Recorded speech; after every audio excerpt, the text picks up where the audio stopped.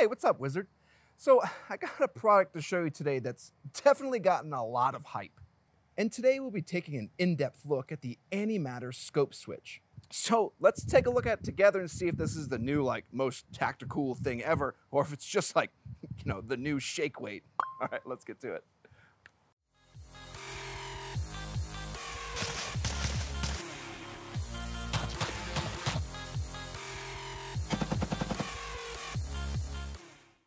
So before I get too crazy into all my thoughts on the scope switch, I want to say a big thanks to AAC Ammo.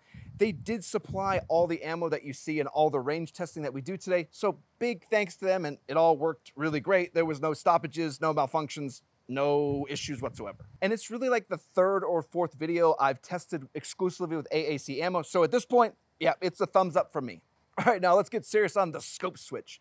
So this thing was like wildly hyped on like Instagram and social media. It kind of blew up out of nowhere. So, what the heck is the Antimatter scope switch? The scope switch works with a slider and a combination of their mount to give you the ability to change the magnification by moving the handguard slider forward or back, functionally allowing you to rapidly change your magnification while keeping your grip on the firearm.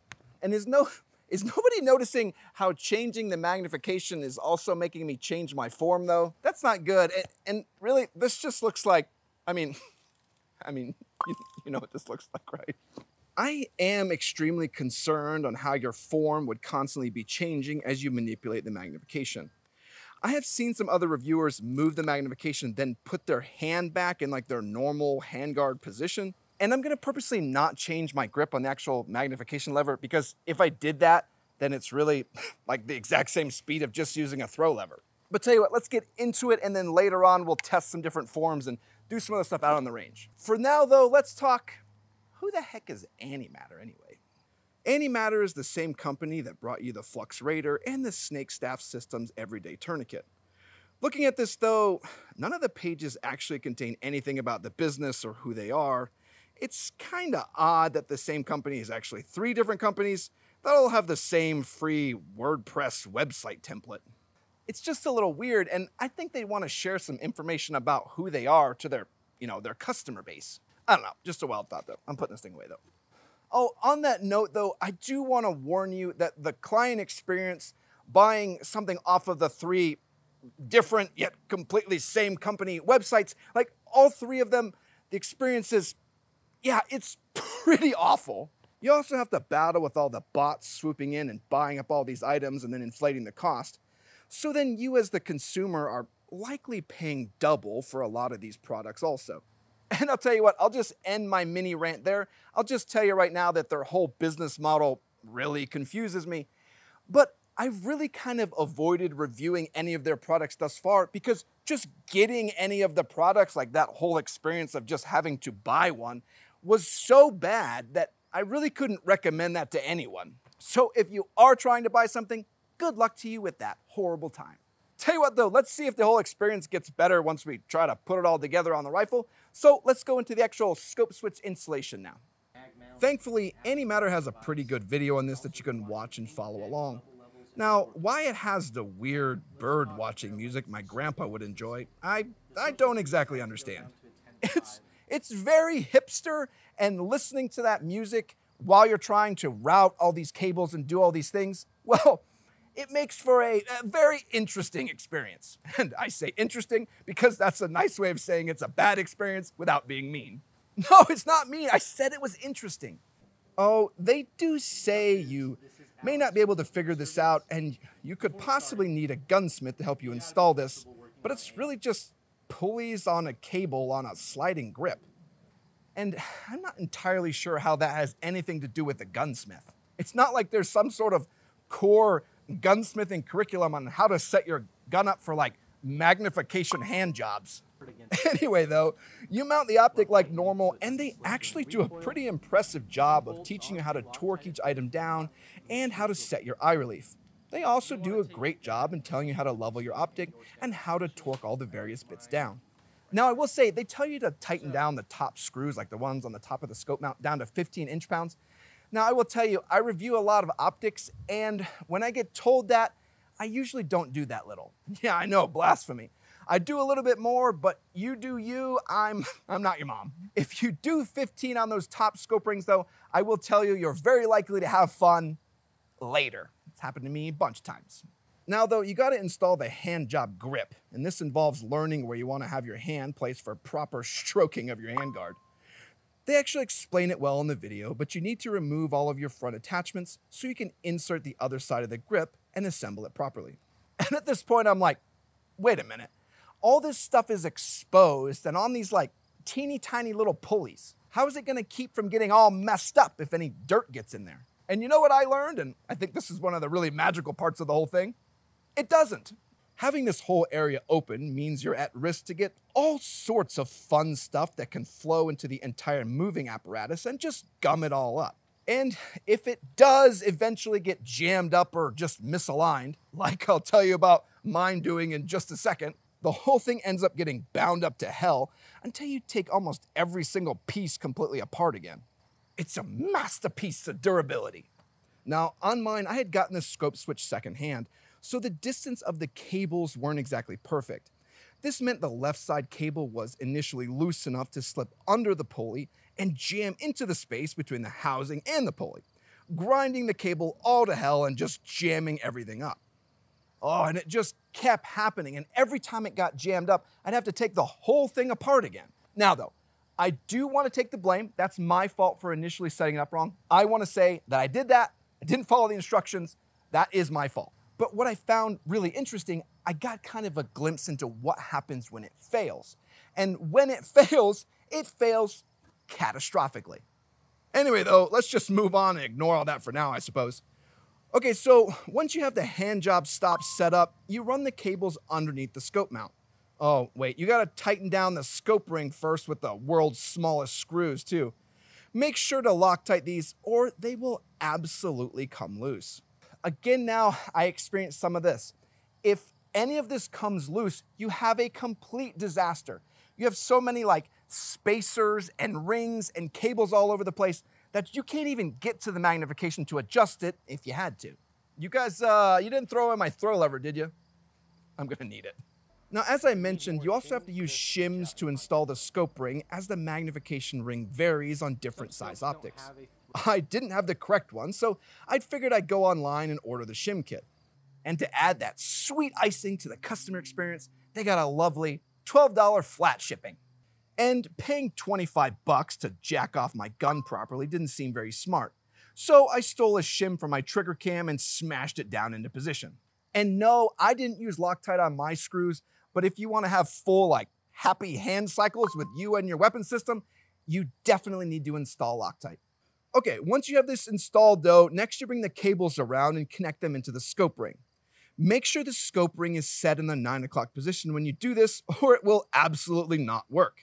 Now, here's another part that really sucks for the consumer, but you don't realize it till like way later. After routing all the cables, you cut the excess of the cable off so you don't have this cable mess spinning all over when you change the magnification. And here's the sucky part is you're very likely to need new cables every time you change the optic that you're using with your scope switch as each platform and optic will have very slightly different measurements, magnification ring diameters, and different eye boxes. So with that variation, you'll likely need new cables because the ones you're currently using could just be too short and then not work anymore. And that means you need to spend another $35 for some replacement cables. And hey, thanks $12 flat shipping. We really appreciate you. And you may think you're gonna maybe avoid this by keeping the cables loose, but if you have the cables loose, you have the issue like I had where the loose cables themselves can then jump the pulley and slip in alongside and then just completely destroy themselves. But good Lord, with our cables installed, it's finally complete and I'm glad you got to be part of that fun. Tell you what though, let's actually try it out here and see if it actually functions.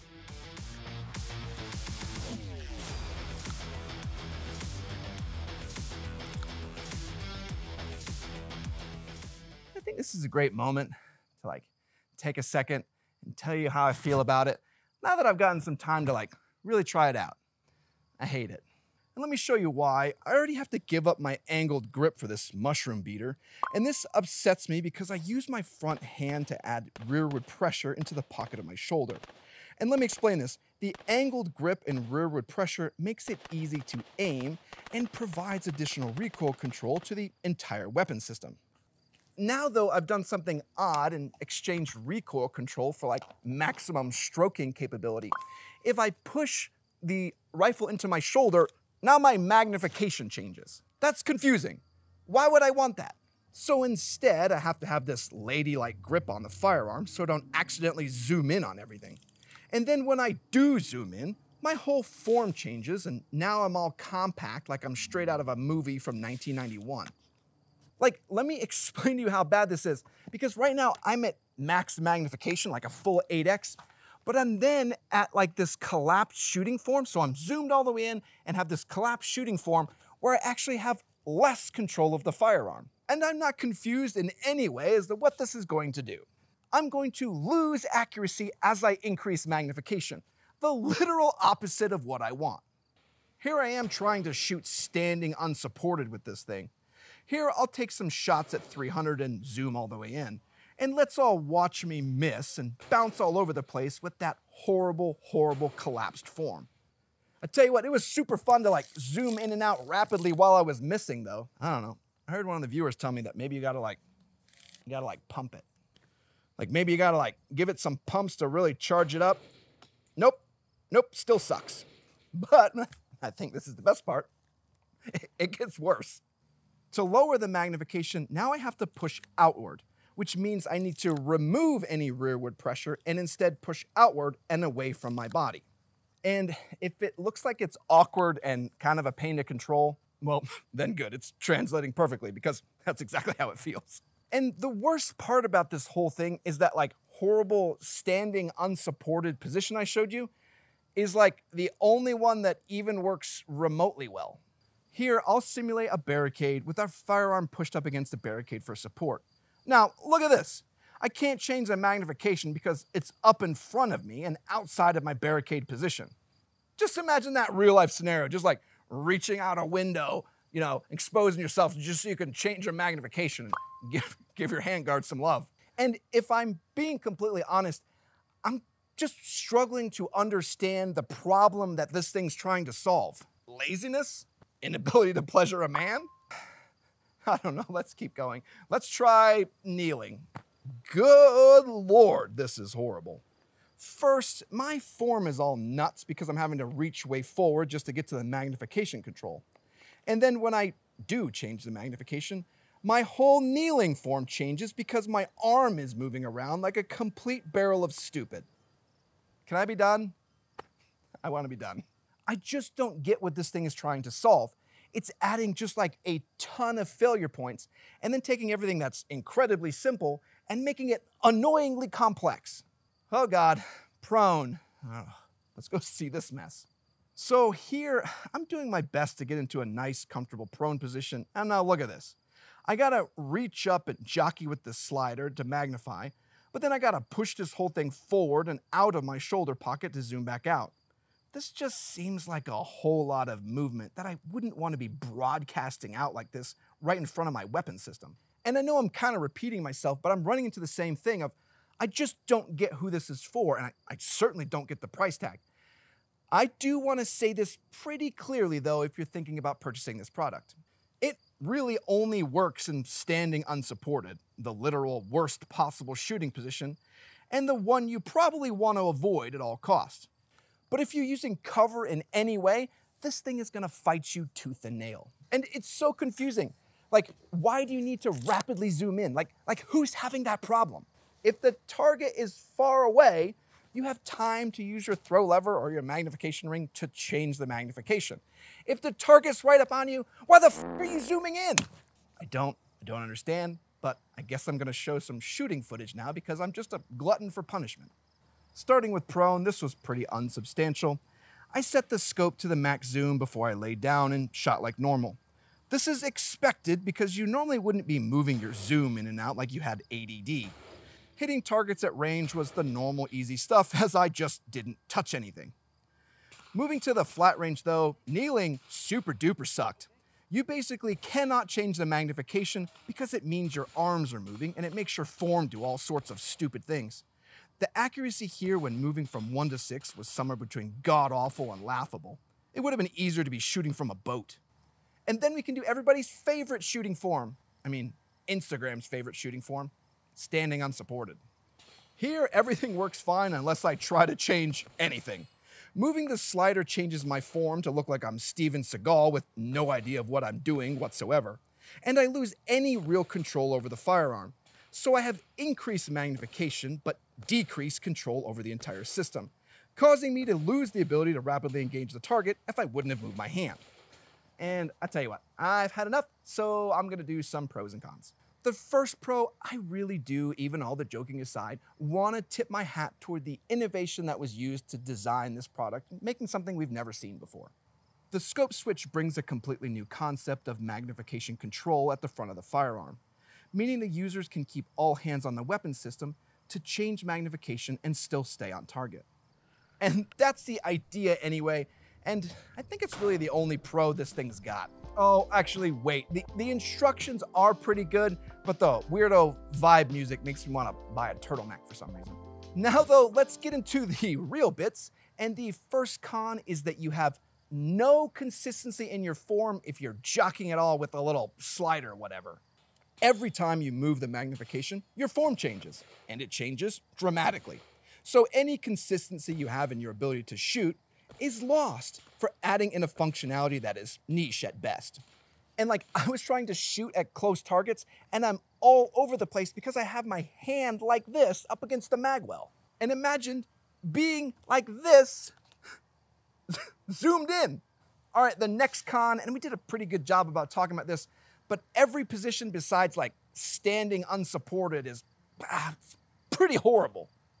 From kneeling to prone to supported with cover, the scope switch functions in a way to fight directly against you, either giving your position away through a ton of excess movement, or just by making a shooting position that changes as your magnification changes, tanking any possible accuracy. It's just really, really great. Uh, I, I do have more cons, and the next one is that it's super duper easy to break. If any of these cables break or screws come loose, everything will just jam up and make the whole system fail to operate. Adding to that problem, the entire top of the system is exposed, meaning dirt and debris can easily clog up the entire apparatus. And when you do have a failure, you have all these cables and rings and spacers all over the place that make changing the magnification just about impossible. I mean, one option is to just keep it in your safe so it's always ready when you need to just zoom in and out of things randomly. Now, before we wrap this up, I do want to say thanks to my BRN 180 upper for enduring all this hand job training that we did today. And I hate to say that after using this product today at the range, I really can't recommend the Antimatter scope switch to you at all. From the customer experience to the price to the overall shooting, I never felt like I was gaining an advantage, and instead felt like the entire weapon system was less effective with the scope switch installed. And during most of my shooting, I really felt like I would have been much more effective if I would have just removed this thing entirely. Let me let me show them something. Hand me the Carmel. So like seriously, just do this. Tweet, tweet, tweet, tweet. There. I just saved you like 600 bucks. And the biggest thing I think I found is that you don't ever want to be just like running around and then like just zooming in and out of things. It, it just, I don't know, in practical use, it just made no sense. But I hope this review of the Antimatter hand job Allmatic was useful in your purchasing decisions. I want to say thanks to all of our Patreon supporters and all of our YouTube members. You guys make it all possible where I have to review ridiculous things like this one, and I, and I super duper thank you for it. All right, and I want to say thanks to everyone that likes, comments, and subscribes comment down below what you think about the Antimatter scope switch. I definitely want to hear about it. All right, everyone, Walsh out.